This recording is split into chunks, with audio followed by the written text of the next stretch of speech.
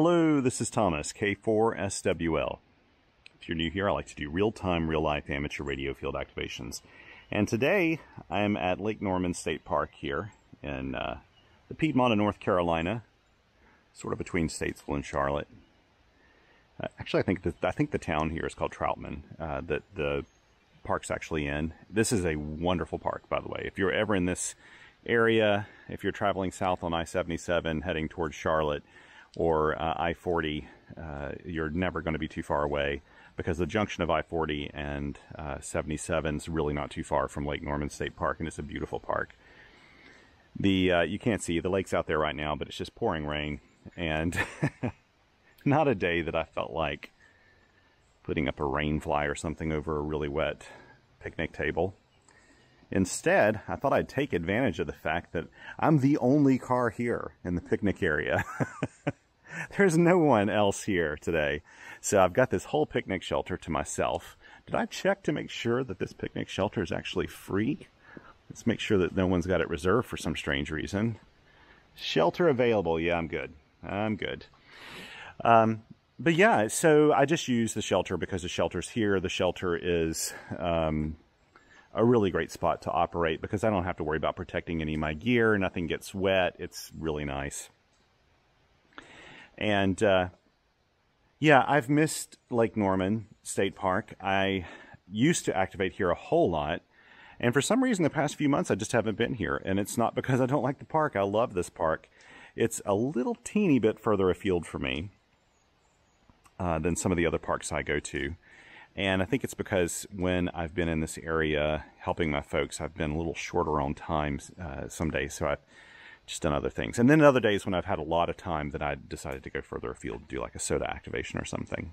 Today, I really, really, really wish I could put in uh, some time hiking because Lake Norman has, it's way down here, there's a trailhead to a really, really nice trail that uh, I think it's called the Lakeshore Trail that goes around the lake and it snakes around and it's one of those things it's like it's deceptively long actually. I think you can do the trail if i remember correctly i've done the trail as a three mile hike and also as a six mile hike. Uh, it, when you look at it on a map it does not look like there's any possible way it could be that long but since it sort of snakes along the edge of the trail where the lake you know where along the lake shore that's the reason they call it the lake shore trail it snakes around so much that um, i think if you elongated it it can be you know total six miles and I would do it today, but I'm just not in the mood to get super wet and then muddy. Uh, that trail would be pretty muddy in places today, so I'm just not going to bother with that. Maybe tomorrow. Maybe tomorrow I'll even go do a SOTA activation or something. Today I'm just going to chill and enjoy this nice uh, wet weather uh, here in this uh, dry uh, picnic shelter. And so today I was trying to think, you know, what can I do a little differently today? I when I operate in shelters, I'll often take my antenna. If it's a wire antenna, I'll um, shoot it through a tree that's nearby, run the line through so that uh, the base of my antenna may be inside underneath the shelter, you know, where it's dry. Or I'll use one of my vertical antennas that's pretty darn waterproof and just stick it out next to the uh, uh, next to the side of the uh, shelter and just run my feed line in. Today I want to try something a little different. Uh, you, have seen me before, like many, many times, take my Elecraft AX1 and AX2 underneath a shelter and operate that way. It's, it's not an ideal way to operate because you are basically underneath a big roof. This one happens to be metal on the other side. It's a metal roof. Um, I'm not going to go out there and show you right now because I'll probably get drops all over the camera lens and forget to wipe it off and you'll have this big blurry spot uh, for the uh, entirety of my activation. But basically, it's a, a, green metal roof that's on top of this uh, shelter.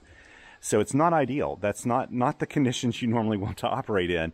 But with parks on the air and some of those activities where you've got a lot of hunters out there, I think even with poor conditions, even at low power, I've found that I've really never had an issue activating a park with an antenna underneath a shelter. Now, why wouldn't I just put my wire antenna out and run my feed line from it? It's a lot of my field antennas are not designed to get really wet.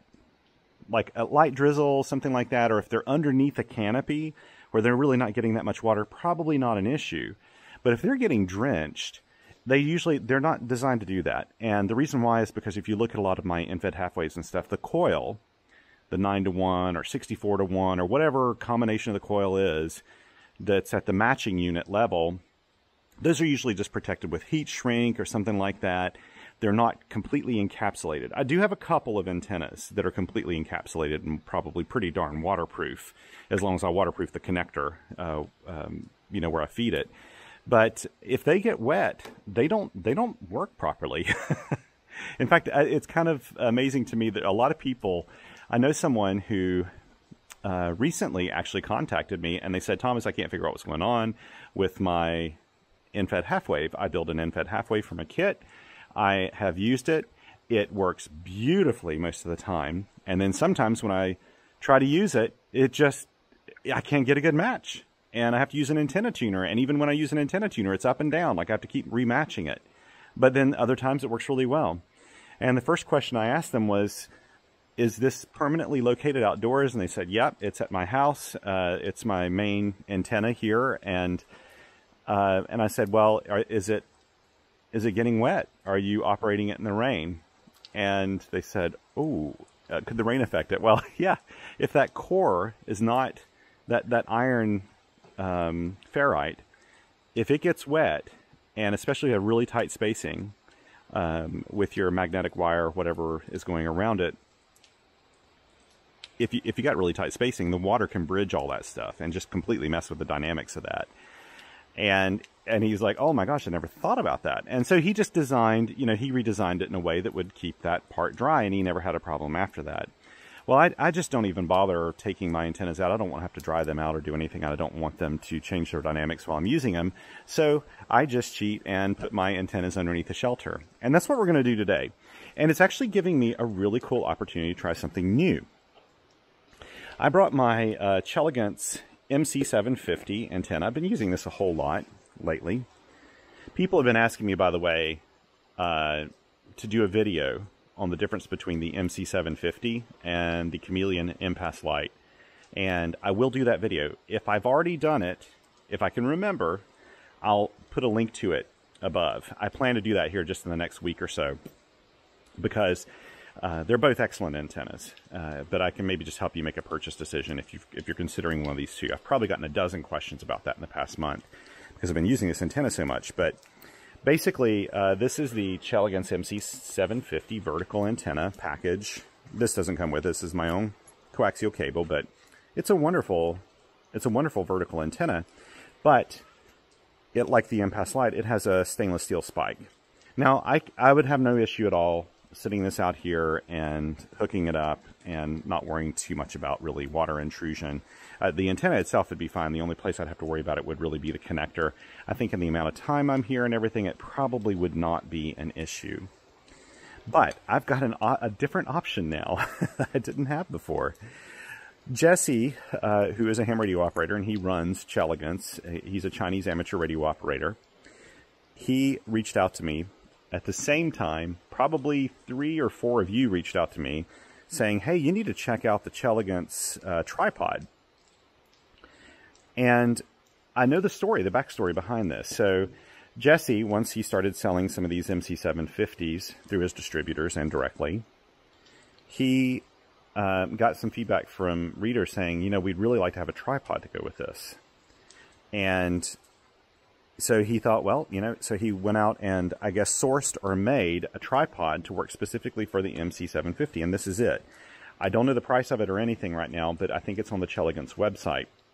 In full disclosure, um, you know, Chelegance, I do have affiliate links with Chelegance now um, because I like them. I only do affiliate links with companies I completely trust. Um, I'm very impressed with their work uh, and their stuff, and so I felt really comfortable doing that. Jesse's a great guy. He's going to be at Hamvention this year. If it's not too late, if this video is not being published after Hamvention, he will actually have a table at Hamvention, so you can go meet him. Really nice guy. And uh, he originally sent me this to evaluate when this was a very new antenna to the market. And so I evaluated and reviewed it. He, I, it came at no cost to me whatsoever. Uh, he just sent it to me. Uh, if you know me, I don't do a lot of that. I actually prefer just buying stuff. But I didn't know anything about this antenna or the company or anything, and so I didn't really want to invest in it. And now I'm telling you, I, I would, I'd almost buy a second one of these because I really like this antenna a lot. Uh, so, um, if uh, that's that's sort of my disclaimer, uh, Jesse contacted me uh, probably two weeks ago, and he said, "Hey, I've got this new tripod. Would you like to check it out?" And I thought about it and I was like, you know, several people have asked me to do a video on it, so sure. So he sent me this, again, at no cost to me. And it's a really simple little tripod. It's kind of cool, actually, how it works. It just kind of flips out and the legs, um, it looks like the legs wouldn't be, you know, that wouldn't be vertical when it does this. It'd be like a little off center, but it's perfect. They're actually designed really nicely. It's a wide enough base for the MC750.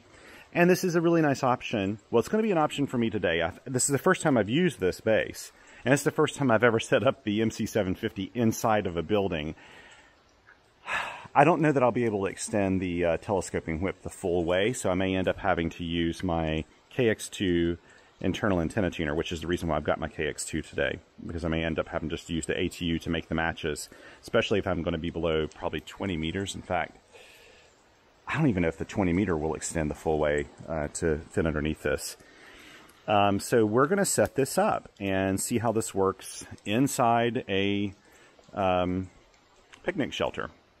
And probably what I'll do is um, set it up. My, my feed line's kind of long for this thing. Um, I'll probably set it up like right over here maybe. I'll set it up like right here. I need to get as much room up there as I can get and spread the lines out and then run my feed line around or something. And we'll just see if it works. Propagation has been in the dumps lately, so I wouldn't be too surprised if we have horrible propagation today. But uh, let's go ahead and give us a, a go and see how it works. I'm going to pause this just a second so I can set up my tripod and everything. I'll be right back. Okay, I'm back. And... Uh, it's actually a little bit longer than I was planning to be off the video here for a little bit. It's really funny. Um, I'm out here setting up. And when I first got here, like literally just got here and parked, there was another car here. And I didn't see anybody around. And as I just took my bags, my backpack, and set it over here, I hadn't opened up anything. I just had my bags. I was sitting my bags over here. I saw a hiker come out of the woods right here got in their car kind of quickly and then took off, and that was it. And um, and then I that's the only other car that's ever that's been here today. But I really got the place to myself. And so anyway, I've been doing this video and I set my stuff out here to set up the antenna and I saw two park ranger cars come up, two, two park ranger trucks.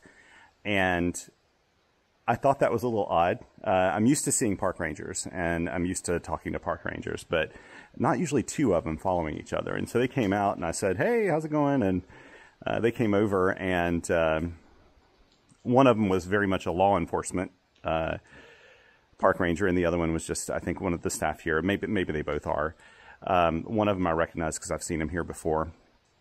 And I said, I said, oh no, is the park shelter is it is it reserved today? And he said, oh no no no. He said, um, uh, and I said, well, I'm just doing a Parks on the Air activation. He said, oh yeah, okay, great.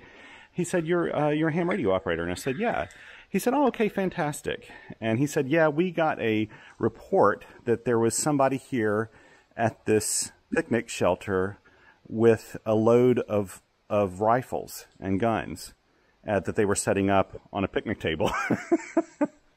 and you know, I was thinking about it. He said, I said, gosh, you know, he said, so I'm guessing you don't have any guns with you. And I said, no, I've got an antenna, you know, and, um, they, uh, they were just kind of chuckling about it. And, uh, and, you know, the thing that, that really surprises me, I just had this backpack and this was closed.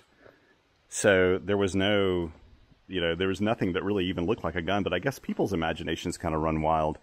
I've, I've heard so many stories, and I haven't had anything quite like this before uh, happen. Uh, so this is a little bit of a first for me, but it was perfectly fine. The park rangers got a big chuckle out of it. They said that they absolutely love ham radio operators come out here and doing POTA activations. They were just, they couldn't have been nicer.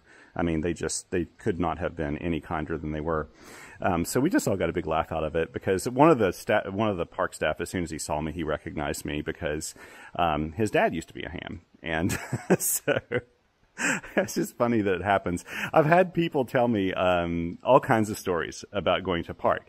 It's it's funny because you know I don't know. I I think probably this person had an overactive imagination, but you know uh, I know here in this. I, I, have heard of people, you know, getting into some pretty weird situations. In fact, one of our um, subscribers here, uh, crazy guy, just like somebody really crazy. He was in an urban park, came over and just was just shouting at him and doing stuff and threatening him, and um, it was obviously someone that was really out of their mind.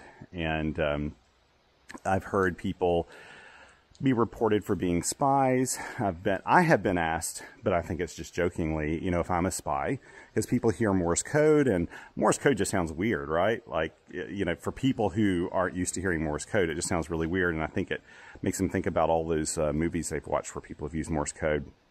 So they assume you're a spy. And by the way, if you're a spy and you're this conspicuous, then you're a terrible spy. but anyway, I haven't had this happen before, but you know, I'm not too not too surprised. Uh, the good news is actually a lot of these parks, it's really interesting. When I first started doing parks on the air, you know, park rangers didn't really know uh, much about, um, you know, amateur radio operators. This isn't Parks on the Air, Worldwide Flora and Fauna, even National Parks on the Air when that was a program you know, it's not like all of them got a memo saying you're going to have amateur radio operators show up and they're going to be doing this thing in your park that they've never, you've never seen before, which is string up antennas, put up vertical antennas, um, hear Morse code, you know, radios and all that stuff. So it's not too surprising that when you're doing something a little out of the ordinary, that you could get, um, you know, you could get some inquiries about it. But the, uh, whole thing, of course, is just be kind and non-threatening and you know tell people. Uh, I guess maybe she, I, I may guess this person maybe saw this bag and thought it was I don't know. Anyway, it was kind of funny. We got a good laugh out of it, and I hope I didn't scare that person too badly. But um, I think they probably just had an overactive imagination. Um, I hate to think what they would have thought if they would have seen the components of this uh, uh, this uh, antenna out. Maybe they'd have thought it was even something more. But anyway, let's get this guy set up. Now, what I decided to do, by the way, is I moved it away from this center column. I was I was going to set it up over here, and I thought, no, no, that doesn't make sense. There's these big extra metal uh, brackets up there holding the rafters and stuff. So I'm just going to kind of put it kind of off to the side in the middle. There's no way to avoid all this. And I'm looking at it again, and I know there is no way that I'll be able to extend this for 20 meters. So I'll definitely have to use my tuner and hopefully the KX2 can tune this antenna to 20 meters, even though I don't have a full quarter wave out. I may have to tinker around with it a little bit and see. Uh, again, the dynamics will not be normal because I am not, um, I've got it inside a building basically. I mean, with open sides, but it's kind of inside of a building.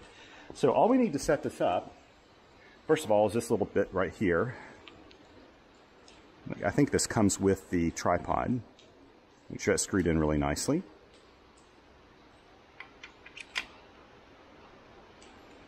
Then I connect that, make sure it's on there really nice and tight. Then I put this extension on.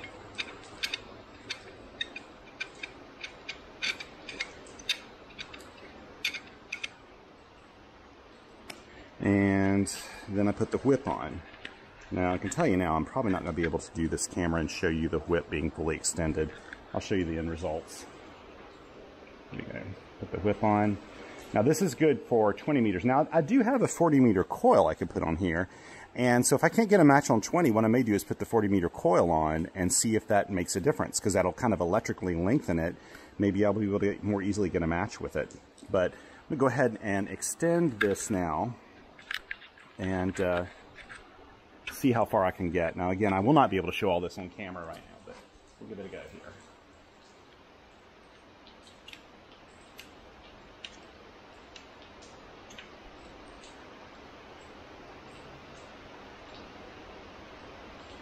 Okay.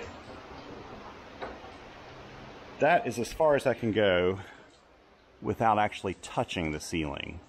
There are some metal brackets there too. There's no way to really get around getting near metal, I don't think. Maybe, maybe you know what? If I move it over this way just a bit, that may be slightly better. Let me move it toward the middle here. And uh, just a little bit further. And that is standing freely with some spider webs on the end. Good. This will have to do. Just make sure this is all really nice and tight again. It is.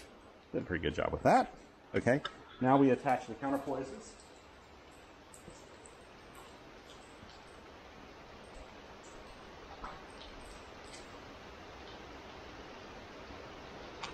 Okay, so I'm to pull this uh, one counterpoise out here. This is the only thing that takes time with the Chelegance. And you know what I've been thinking about doing? Is not using the winder. I actually think this is a pretty clever winder. But I'm thinking about just when I wrap these up to do them as a figure eight, I think I can probably deploy them and wind them up more quickly. But I'll need to find a you know nice way to cinch all these together. But when I have it as a figure eight, I can just take it and deploy it by throwing it, and it pretty much just goes where I want it to go super easy with a figure eight. Now I'm to straighten these out when I'm done here. But now, now the park rangers know where I am. And I can see on a day like today, especially where there's literally just like nobody at the park. Like this other person was here briefly when I was here. And I don't know if they were on a hike or what. But it is more conspicuous when you're the only person here. And it could have been that this person was thinking that I was going to do some illegal hunting or something like that on park grounds. there, are a, there are a bunch of deer here. I'm not a hunter, okay, but there are a ton of deer on this park, of course, that are protected. Um, maybe, maybe that's what they were thinking I was doing. I don't know. It's a first for me. I'm just, I'm just uh, kind of uh, impressed that I would look like somebody that would just uh, come to a state park and pull out a bunch of stuff and throw it on the table like that. Here we go. That's one more. I don't think I've ever, anybody's ever confused me with like, uh, um, being, I don't know, being like a full-on tactical guy. Okay, there we go. Let's get this out.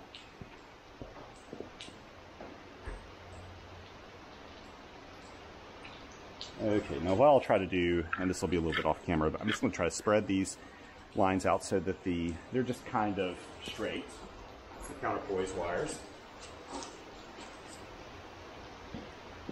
They don't have to be perfect. We obviously don't have a perfect antenna system going on here today compromise from the start.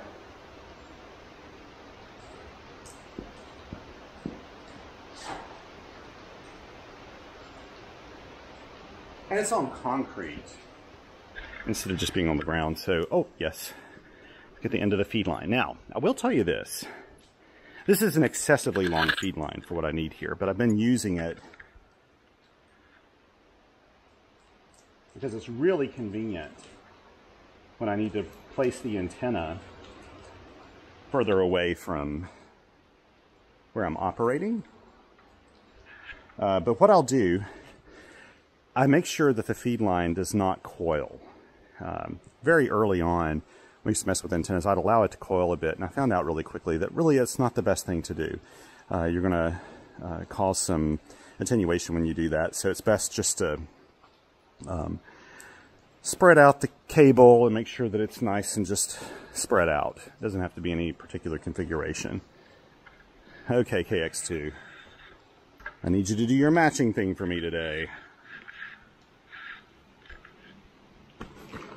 Let's move this and get things set up. Thanks, by the way, for coming out here today.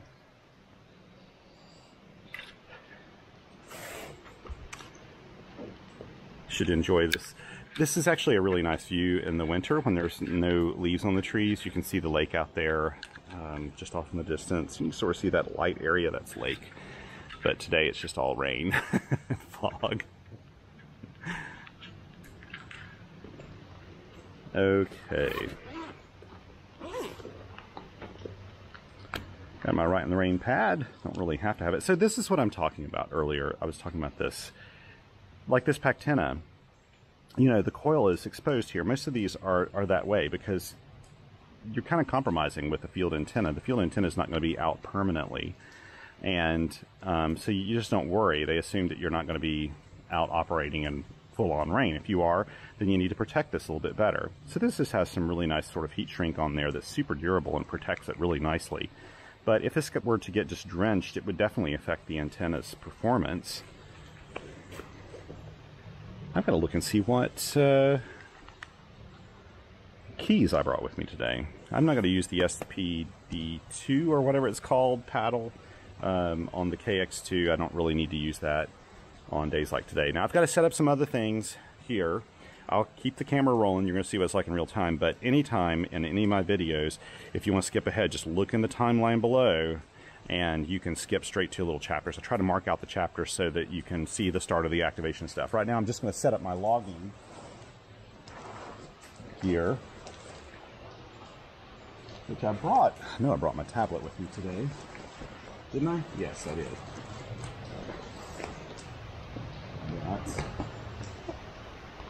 The tablet's so much easier to log to. Let's see if I brought. I was hoping I brought my SP4 paddles, but I may not have today. Let me check in here. I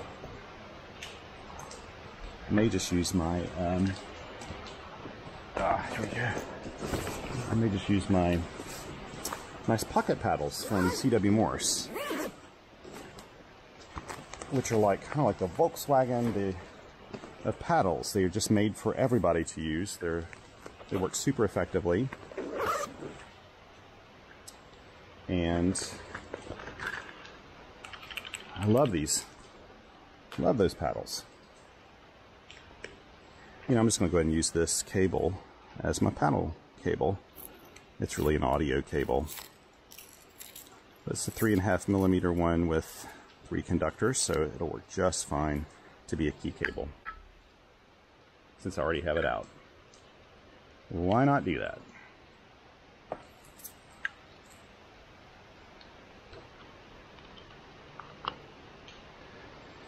And plug in this. I am super curious if this is going to tune up. Before I go too far, I think I'm going to try the tuning. You can hear that there are thunderstorms and stuff around the QRN, QR Nancy. It's pretty bad. Oh, it's really bad. This is so noisy. Oh my goodness. Oh, this is going to be fun. I don't mind. I, I think it's important that you're able to operate in all conditions, you know. But QRN, when it's rough, is just not very fun because it's just so noisy. And no noise reduction can help. It can help knock it down a bit. But in CW, what will really help too is sometimes lower, um, making your bandwidth more narrow, you know, with a filter, making a really narrow filter. Um, it kind of blocks out a lot of that noise. I recently started using these Rite in the Rain spiral bound notebooks. And I really like these. Even though I'm not, like today, I don't really need it because I'm under shelter right now.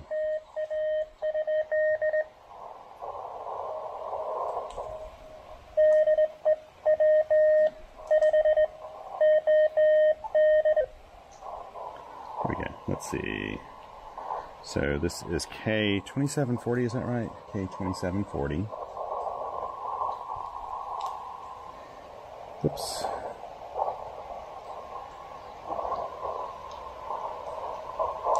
2740.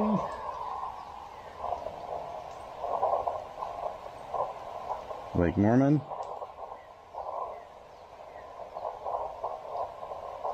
State Park, and today is the 27th of April. Oh my goodness, where has this year gone? I'll put KX2 MC750. And I'm not going to ride down 20 meters yet. I don't want to jinx this. But the assumption that that's going to work really well. Okay, first of all, let me make sure before I set up these logs that it's on the 25th. Let me make sure I've got this log saved. Yes, I do. Good. I think I've already uploaded it anyway, but I always check. I may have to move my laptop a little further away so you can hear the noise level goes up as I get near the touchpad. That is some that is a known issue with this particular one. Actually, this is a pretty RF quiet uh, Surface Go. The Surf I use a Surface Go. This is an original Surface Go.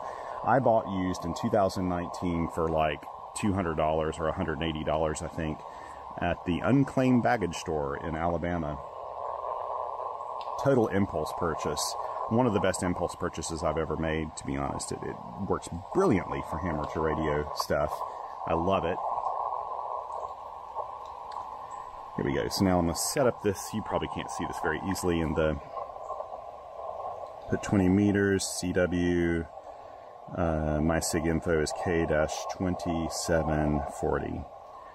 I'm going to move this further away from my radio with the hopes that it won't be quite as noisy. Okay, here it goes, guys. Will it tune?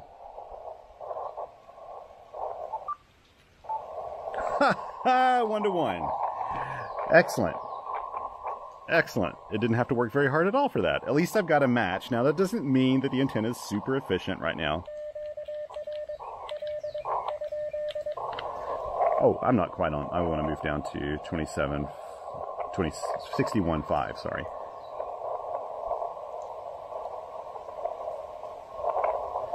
That noise level is around S5. QRN is. See if you, this is the thing about noise reduction. First of all, when you use noise reduction, you need to set it and you need to let it do its thing for a little while. It has to kind of sort out the noise. I actually am not a big fan of noise reduction. I don't use it very often. And when I do use it, I use it very lightly just to take the edge off of something, just sort of like the audio peaks off of it. Because what happens, I find, is that noise reduction creates these artifacts uh, in the audio that I don't like. And I, I'll listen to people using really heavy noise reduction. And not all noise reductions are created equal, I should say. I think the one in the KX2 is pretty darn good. But I just tend not to use it like, so I'll probably put it like at number two or three. Something like that. And we'll, we'll see if that helps a little bit. I'm doing it more for you, to be honest, because uh, I can kind of ignore it. I don't like QRN, but I can I can kind of tune it out.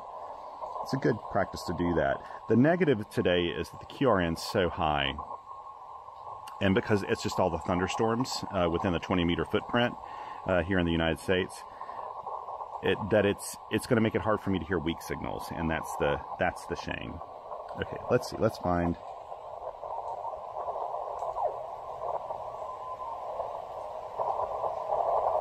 Try 57.5.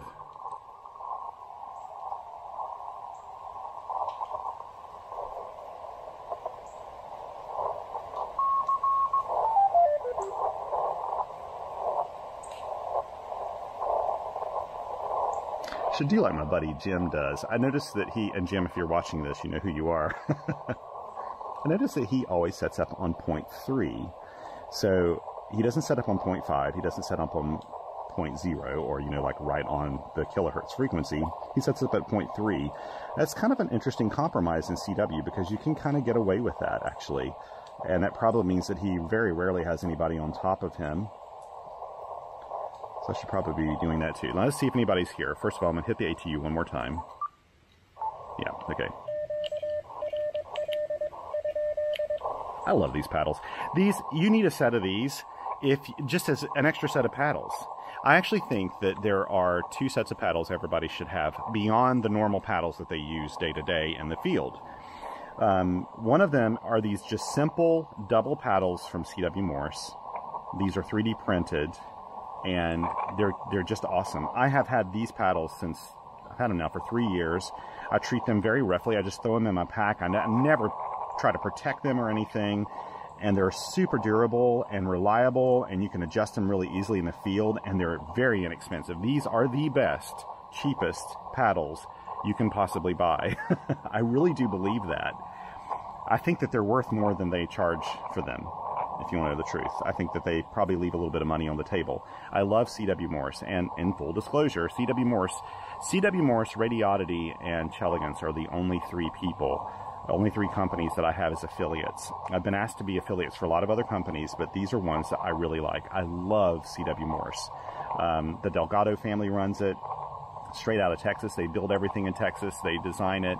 They have just been incredible and they give you great customer service and just incredible quality for the price. So you should always have one of these, I think. Uh, they make a single lever version of this too, and they make a version that's on a stain, on a steel base, and I have one of those too that I love. Another one you should have is uh, N6 ARA's tiny paddles, and I keep those here in my pack actually.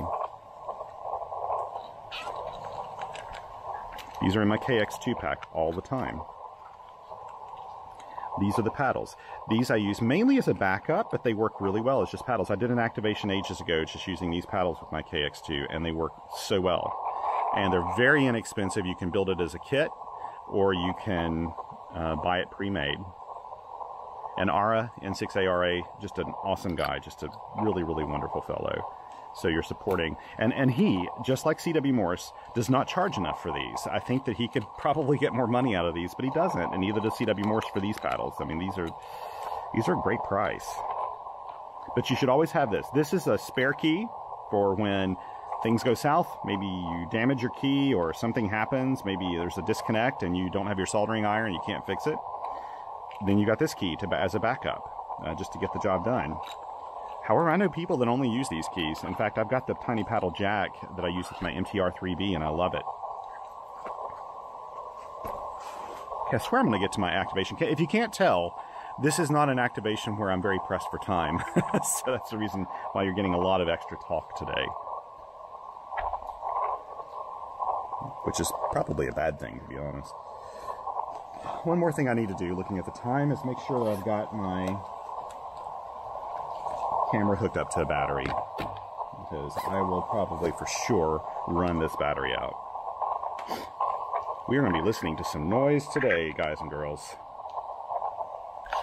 Just to listen to that band. And we'll plug in the camera, and then we're going to start calling CQ. Get a drink of water here while I can. Well,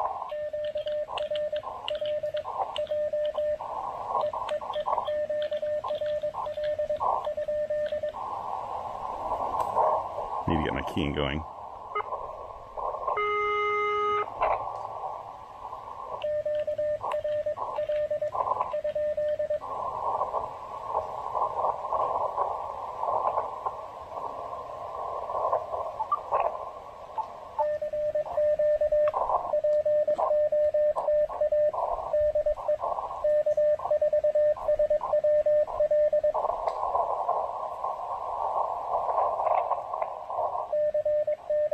Was just a tuner upper, by the way. I didn't. No one sent a call sign or anything when I sent QRL, so I don't take that as someone actually being on frequency. I think someone is just tuning up. Okay, let's see. What time is it? Okay, 1900 UTC.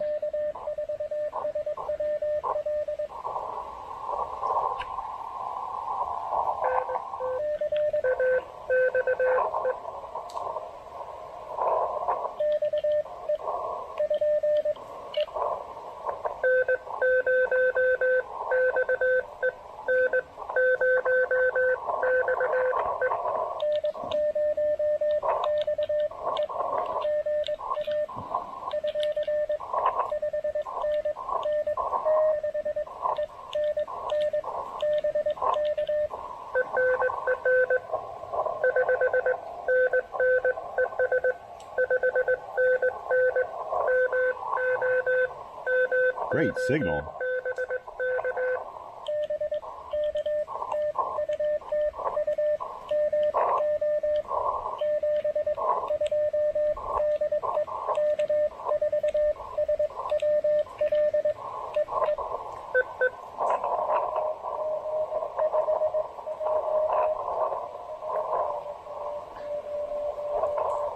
Yeah, I heard a 5J.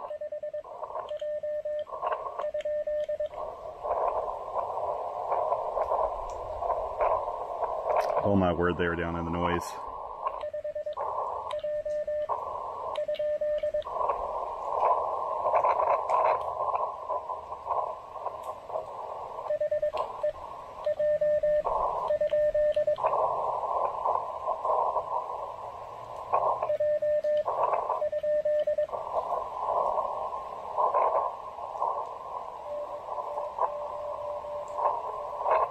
Okay. Okay.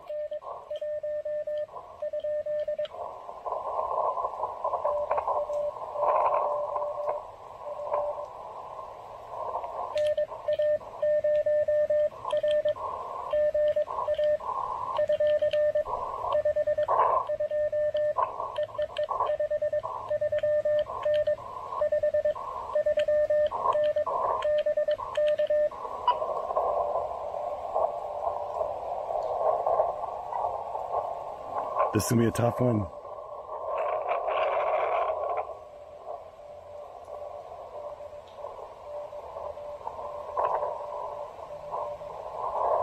Oh, wait.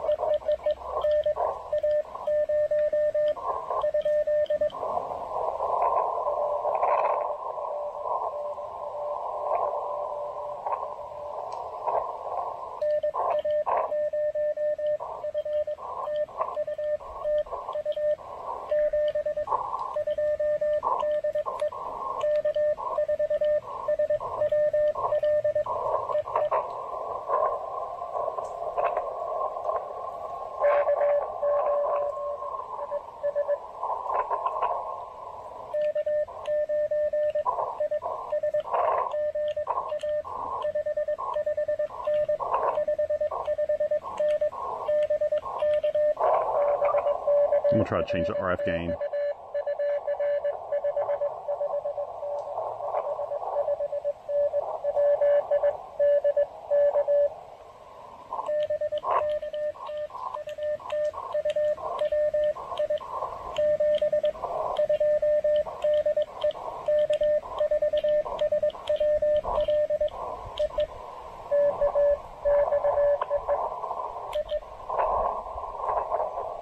Let's see here.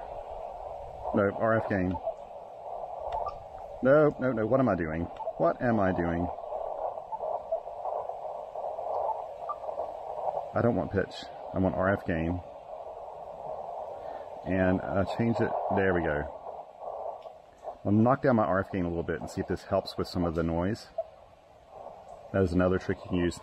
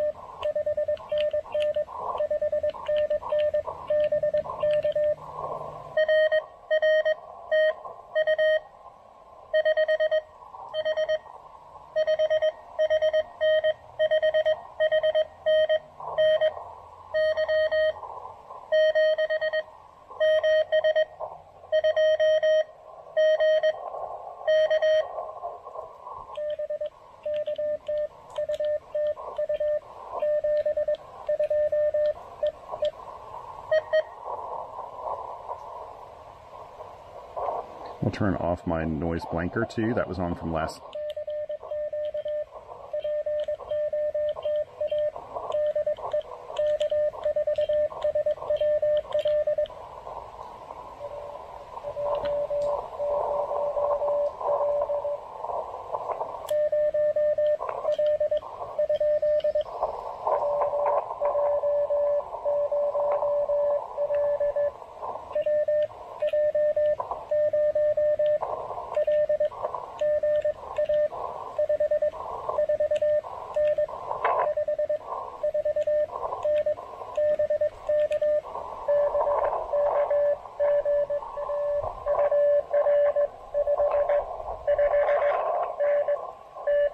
nice. QSB too.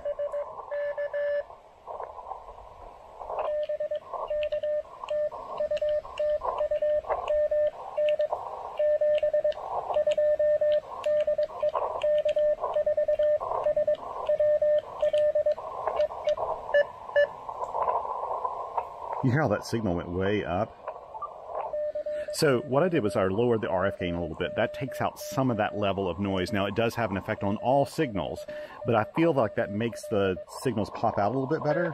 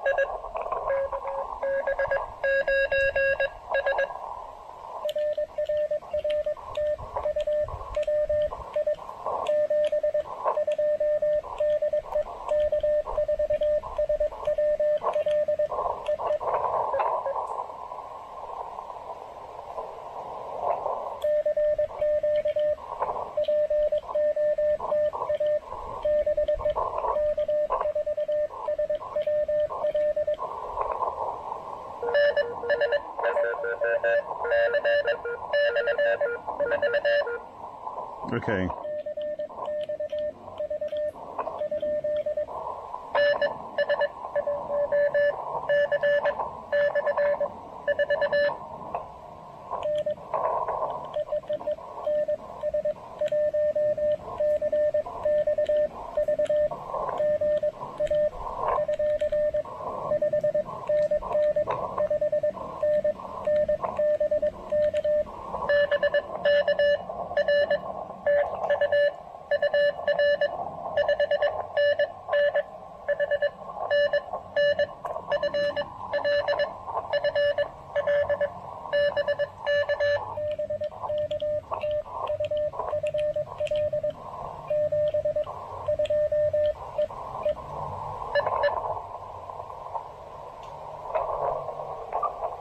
Now I'm calling CQ so people kind of get an idea like, oh, he's just not hearing me right now. Also want to take a picture of my setup.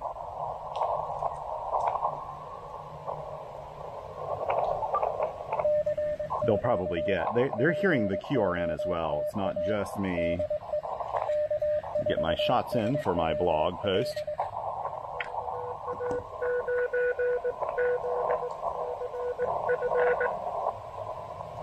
Okay. Can't remember if it's a K or a K.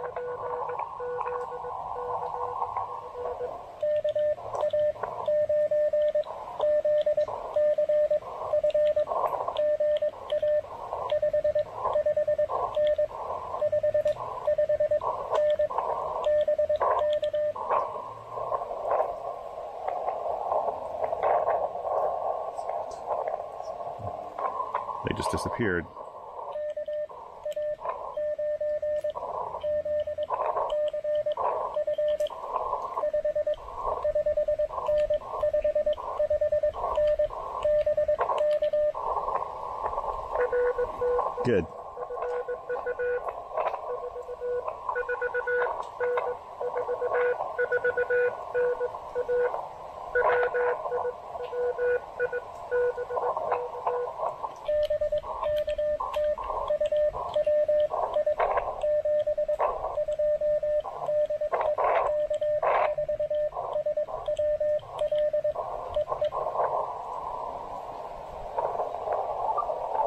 keep sending that CQ. That'll also keep my spot fresh.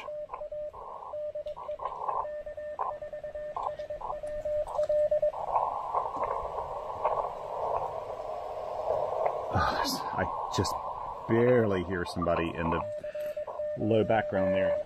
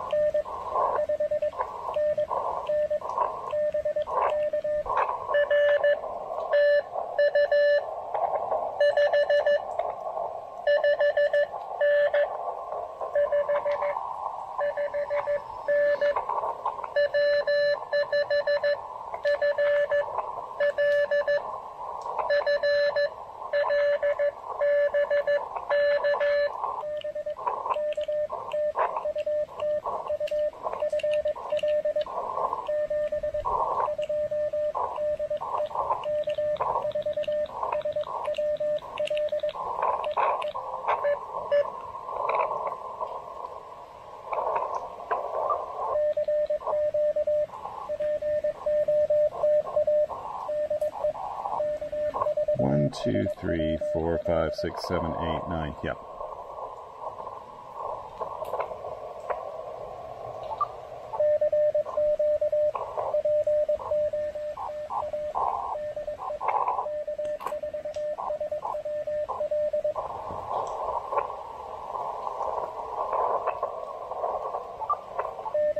I'm sure there are weak stations calling me. By me calling CQ, though, I'm trying to give them the message that, hey, I can't hear you.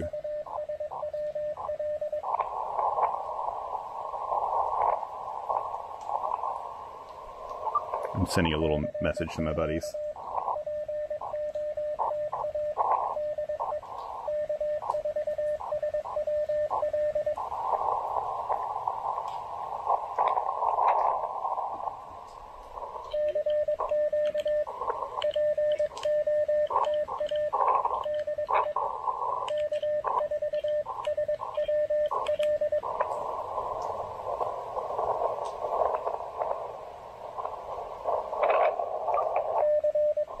We're at nine contacts, one more, and I have a valid park activation. So actually, so the answer to the question is, heck yeah, this antenna works. it works just fine. And the whole thing is dry. I don't have to like do anything with it. It's just, it's, it's great. As, is it as effective as it would be under, you know, no, it would be more effective if I had it outside. Oh, I can hear somebody just barely in there.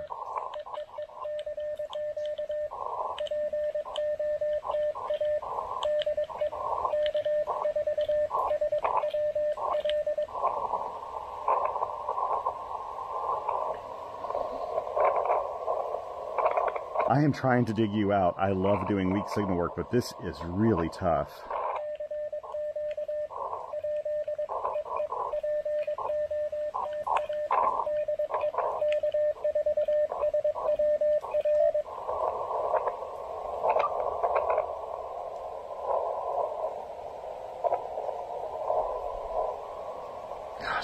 it's just like is really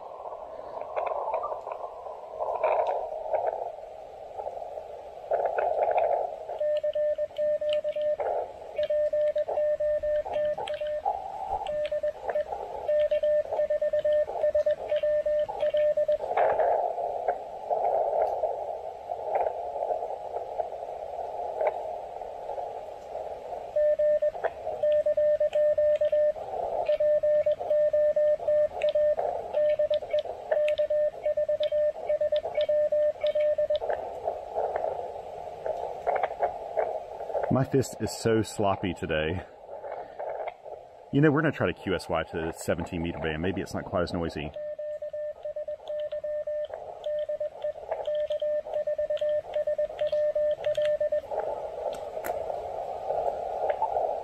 Let's QSY up here. now, you know what? I think I can actually move this. I'm going to go move this antenna. I won't show you this, but I'm going to move the, the whip down to the 18 megahertz position. I'll be right back. Let me see. Maybe this will work. I doubt it'll be resonant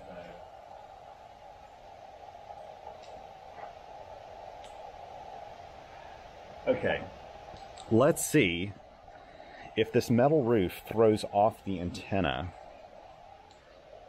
I have to first disengage. So what I did, uh, this will give me a little bit more of a chance to tell you this what I did was I lowered the RF gain. Now that is a trick you can always use in summer months and things like if you live in a part of the world with a lot of thunderstorms and stuff.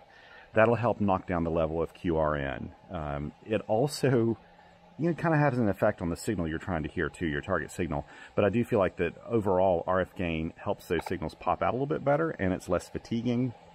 So you can turn your RF gain, change your RF gain turn up your AF gain a little bit. And it's just a little quieter, a little easier on the ear so you can hear the signal pop out a little bit better. Uh, but it does have a broad effect over the whole band, so um, that has to be kept in mind too. This is a lot less noisy up here. Oh wait, yeah, I need to go change my ATU, ATU mode bypass. I'm getting a 1.5 to 1 actually. Okay, I'm good with that.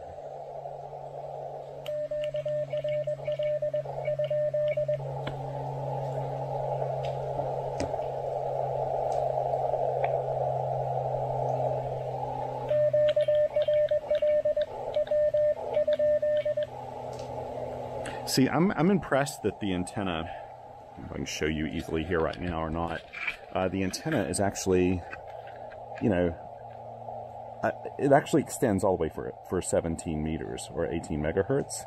So I can actually have it as like a sort of a full length in here and it doesn't quite reach the ceiling. So the only thing that's affecting it right now is just being under this metal roof. So see how well this works. Now 18 meters may be dead and that could just be a fact of life. that's perfectly fine if it is. We'll, uh, we'll, we'll make do. Okay, no, I'm not going to hit the ATU. The ATU is disengaged. Let's start calling CQ. Oh, there's another. Okay, so my buddy Mike says you walked into another CME. Not as nasty as the previous CME, but all the bands are compromised. He said, you'll still get your 10. this is my buddy Mike K8RAT.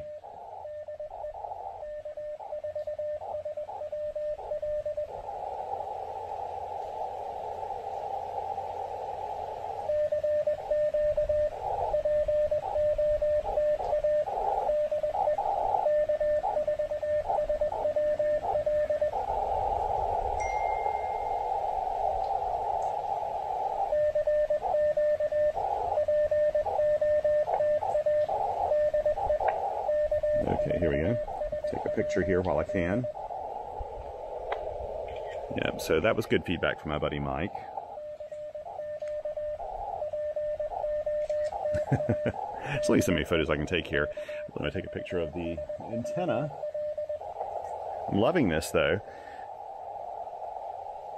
I, am pretty impressed that that antenna is actually giving me a reasonable SWR. So it's like about a 1.5 to 1, maybe 1.6 to 1. Perfectly acceptable.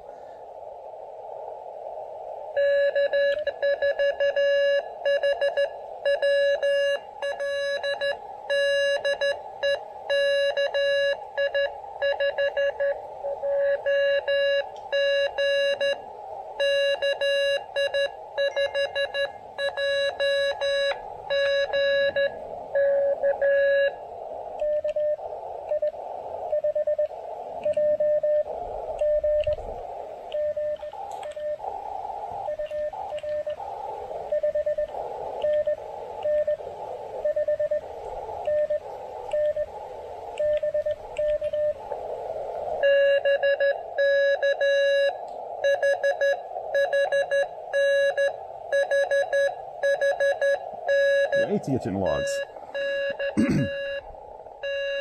Texas under a picnic shelter. I'll take that.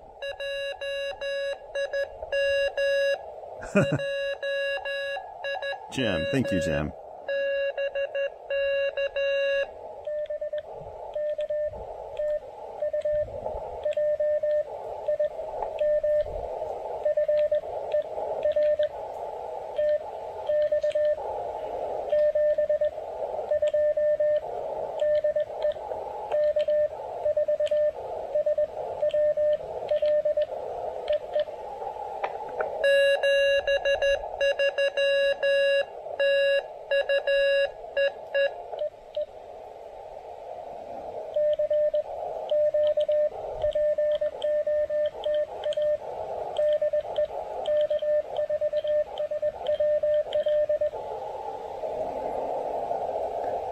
Oh, I've got my 10 now. Yay.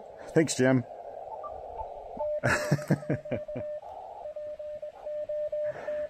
so I've at least got my valid activation now.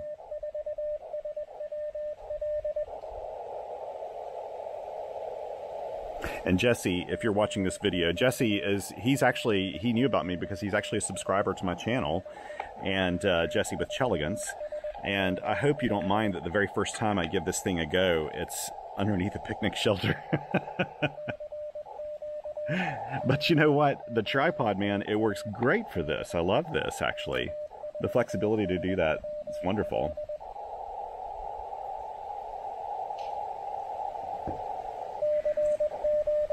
I'm not expecting a whole lot of 17 meters. If we got hit by CME, then it's going to be very unstable here. But it's a lot quieter, isn't it?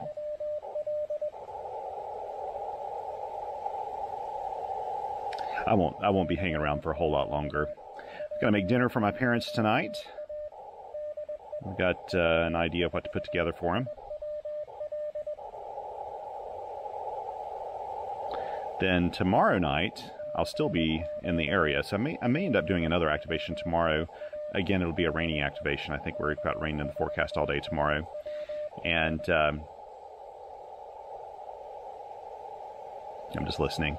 Um, so uh, it'll be a rainy day activation again, but I should be able to get that in. And then later in the evening, I'm recording a Ham Radio Workbench podcast, and I'm looking forward to hanging with my buddies uh, George, Mark, uh, Vince, Rod, and Mike. Uh, that'll be a lot of fun. Absolutely love doing those. Love doing those uh, podcasts. I'm not a guy with a whole lot of extra time on my hands, but um, uh, when they asked me to join their crew, I didn't even hesitate to accept that because I've done I've done several um, shows with them, probably I don't know four, four maybe five. Uh, with the Ham Radio Workbench crew. They've had me on it as a guest at least two or three times, and then I've been with them, I think, on maybe a live stream for the Ham Radio the um, QSO Today Expo, and uh, I enjoy hanging with them so much uh, because I was a big fan, still a big fan of that podcast. I listened to it for you know probably at least a couple of years, and uh, uh never missed an episode. Loved listening to it because I feel I'm the least knowledgeable guy in that group. Um, I feel like Vince always says that he's the turkey among eagles uh, because everybody there is so knowledgeable about stuff. Well, I think I'm like the chicken among eagles and a turkey. Um, you know, I go out and play radio a lot, but I'm I'm not an engineer. I have no background in any of that stuff. But I learned so much from them. It's just like it's like the best ham radio club ever, and um, and I kind of use it as my ham radio club time.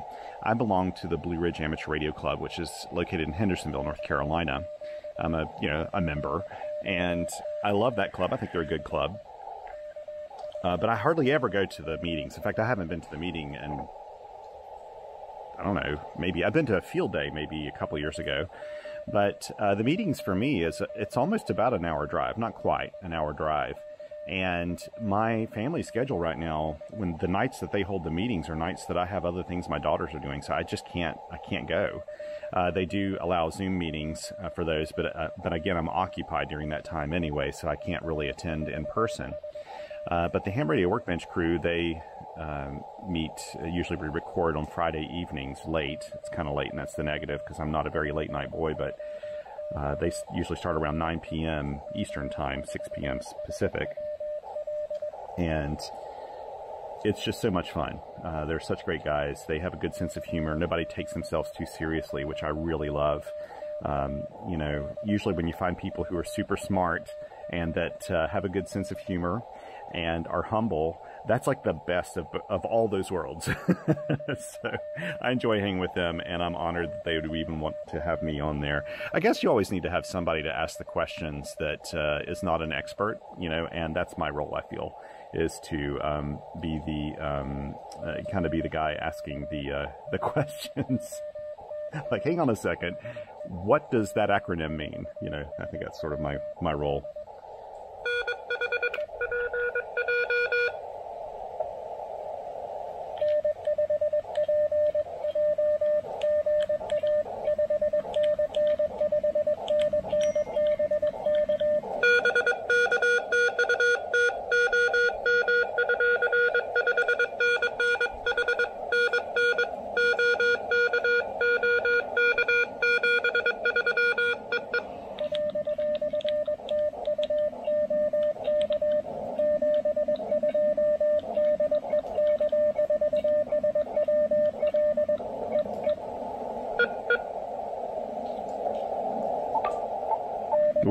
Calling CQs. That's number 11.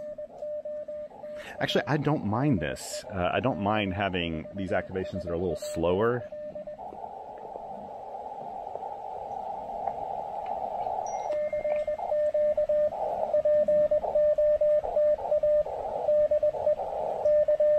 See, 17 meters is in rougher shape, but there's no QRN And when a little opening happens, someone's really strong. And that's what happens a lot when things are unstable. Like we probably, I was working both of these people probably when, um, you know, the QSB was working a little bit more in my favor, you know, when it wasn't in a trough or whatever. I can tell that the, uh, it's floating between about, it's probably about a 1.7 to 1 people shouldn't panic too much about your SWR. Really, don't worry too much about your SWR.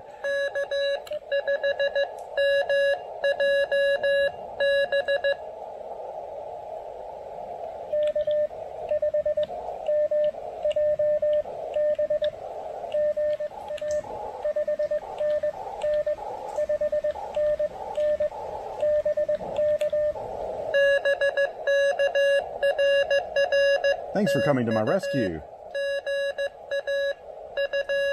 Listen to that strong signal. That's an S9.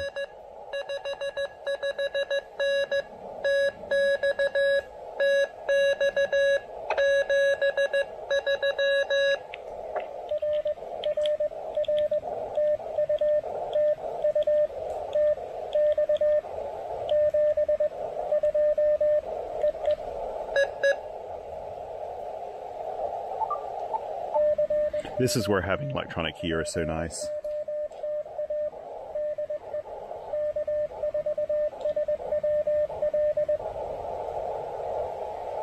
I've got some um, Rite in the Rain pins on the way, and I think it'll make it a little easier for you to see my logs as I'm doing my activations. I decided I would invest in these.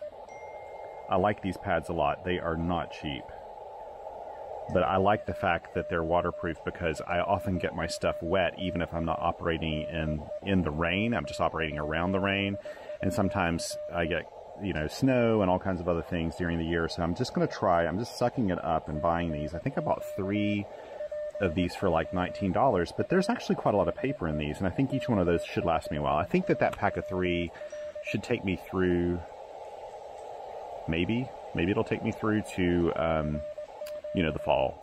Maybe further than that. Uh, I'll find out. I can tell you that much. Okay. I will have to cut this short. My sister needs my help, so I'm probably going to... Um,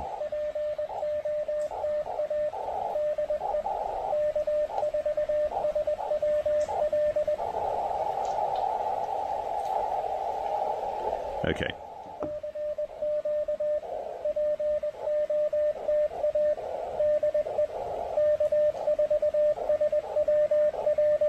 I'm going to call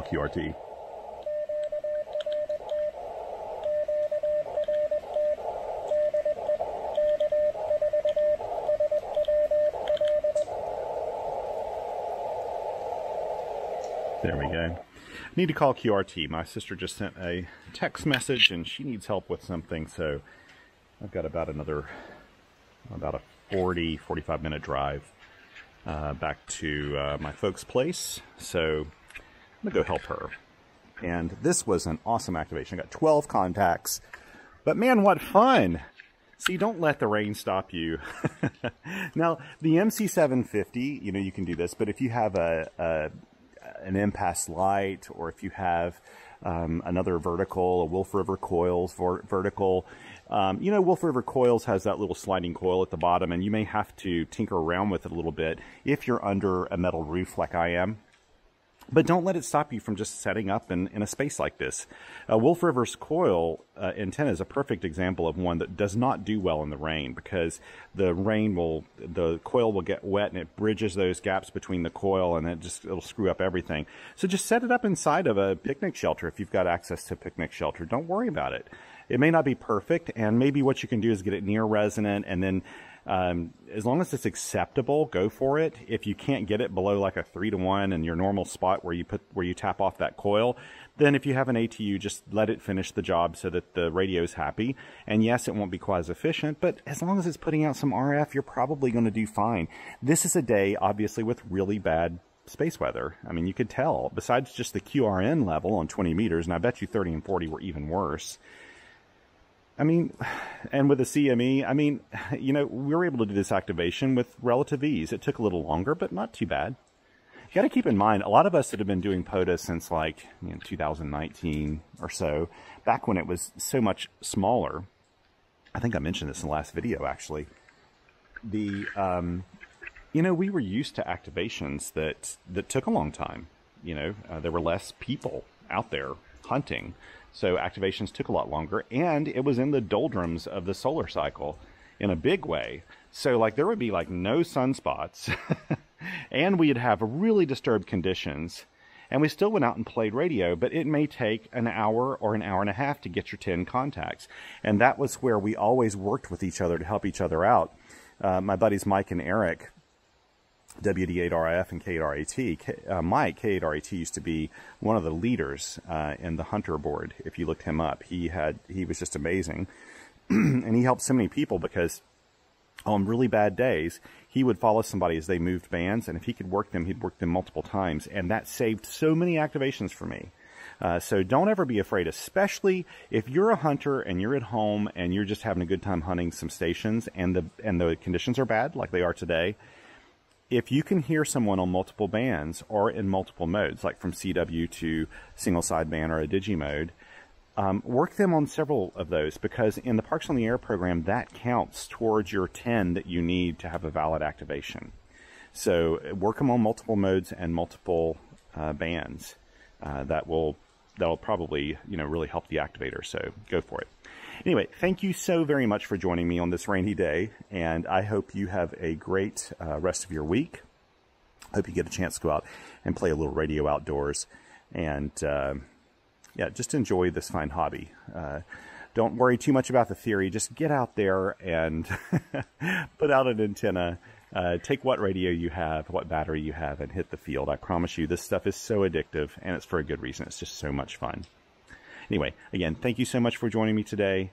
Take care. Oh, and very thank you very much for your support, Patreon and Coffee Fund supporters. I really appreciate that. Um, I, I, love that support. It helps me predict how I'm going to be able to invest in you know my channel and my website and do all those things. And um, yeah, and if you can't afford it, don't worry. The content will always be free. If you need to, you know, if you're a newly licensed ham and you need your first radio, don't worry about me. I'll be fine. Take care of yourself. put put your oxygen on before you put oxygen on someone next to you in the airplane, right? But again, thank you so very much for joining me today. And until next time, seven threes.